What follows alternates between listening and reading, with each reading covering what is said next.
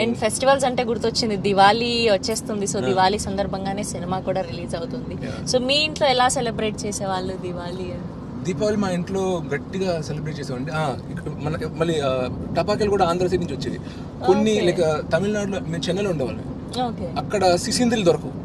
తారాజువులు దొరకవు. రాకెట్లు దొరుకుతాయి వేరే క్రాకర్స్ దొరుకుతాయి కానీ ఈ కేవలం మన సైడే ఉండేవన్నీ సో ఓకే దివాళీ గురించి మాట్లాడుకుంటున్నాం కాబట్టి పటాకా లాంటి సీన్ ఏది అవుతుంది అనుకుంటున్నారు సినిమాలో?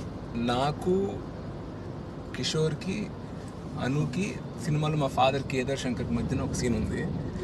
ఐ థింక్ అది ఒక పటాకా లాంటి సీన్ అవుతుంది నా ఫీలింగ్.